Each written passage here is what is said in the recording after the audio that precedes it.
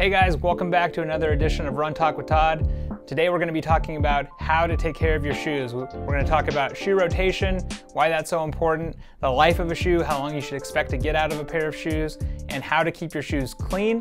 Keep watching all the way till the very end so you can get all the tips and tricks about how to get the most out of every pair of shoes. Hope you had a good long weekend, got all your running in, feeling good, looking good. I'm on run streak day 198, checking in. It's been a couple weeks. Uh, runs going really, really good. Actually, this morning had a fantastic run, felt great. Uh, a little bit faster than normal, so I'm really excited about where my fitness is. Uh, hope you are too. Uh, today, like I said, we're going to talk about how to take care of your shoes.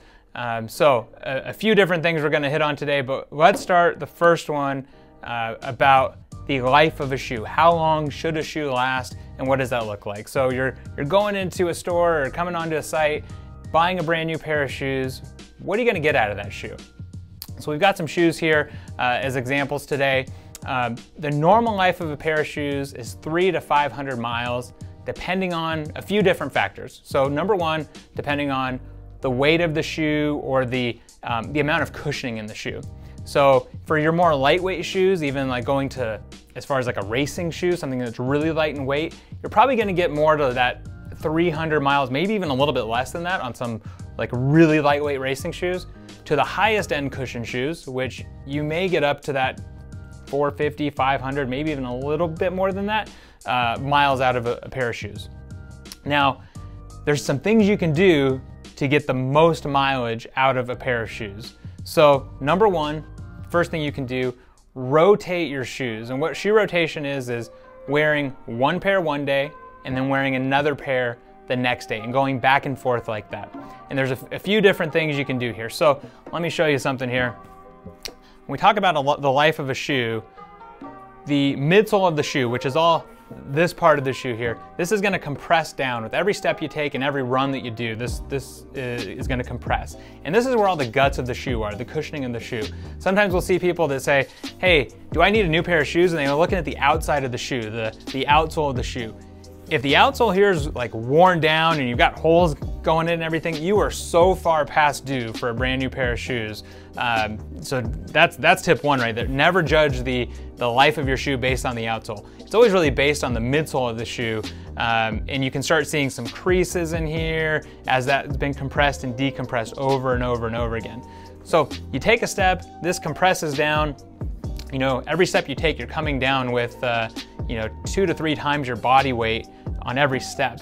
It's compressing that, that midsole down, that cushioning down.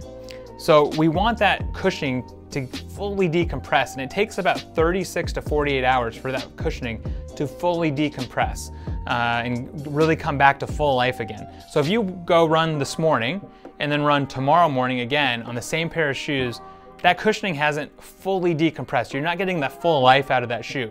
We do that over and over and over again, especially if you're running, let's say five, six, seven days a week, um, that shoe is going to actually wear out faster.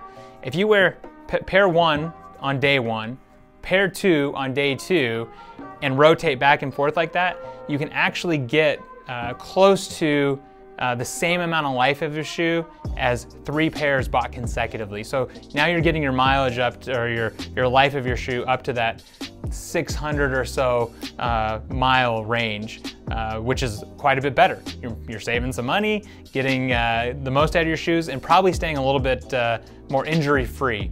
You know, not feeling the little niggles, the aches and pains that you might feel by wearing that same pair every day.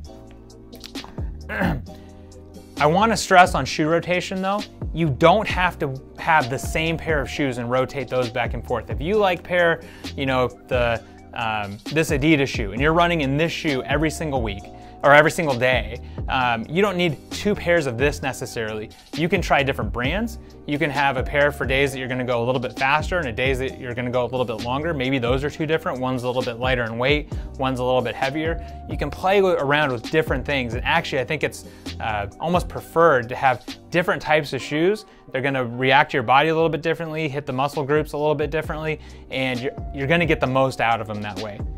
One thing I would recommend though, when you, uh, if, especially if you're not going to different shoes, so different brands or different uh, styles of shoe, If you're gonna have the same exact shoe that you love, it's your shoe, you're gonna wear it every day, and just rotate two different pairs of them, on the back, on the heel, put a one on number one and a, two on number two so that you know which pair you're wearing one day and which pair you're wearing the next. Um, so you're not confusing them and again, going to that same pair two days in a row. So that's shoe rotation and life of a shoe. The other thing we get a lot of questions about is how do I take care of my shoes? How do I keep them clean um, so they're not, you know, really dirty? I know I, I rotate three, four different pairs of shoes and um, my shoes get really dirty. I run a lot of trails. How do I clean my shoes? So there's a couple different things you can do. Number one, if we're talking basic cleaning, uh, the shoe is a little bit dirty, but it's not, you know, crazy. Take an old toothbrush and a basic soap and water mix and just brush them up.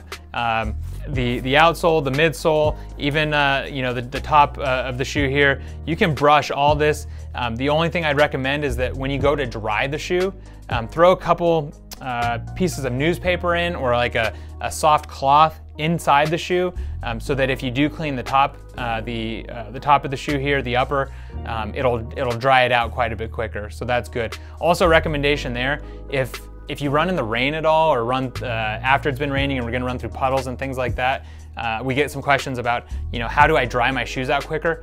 Never, ever, ever, ever, ever throw them in the dryer. You will absolutely destroy the midsole of the shoe as it heats up. Um, so don't throw it in the dryer. Instead, take a cloth, newspaper, um, anything that's paper, shove it in the shoe, uh, keep it there for a day or two, and it'll absorb the majority of that moisture and get your shoes dry a whole heck of a lot quicker. Please though, don't ever throw them in the dryer just kill your shoes. If your shoes are a bit dirtier and uh, you need to wash them, they absolutely can go in the washing machine. So feel free to throw them in the washing machine. That's not a problem. I'd recommend taking the laces out first um, so that you can like it really gets in there and gets all the um, you know the inside of the shoe uh, really really clean.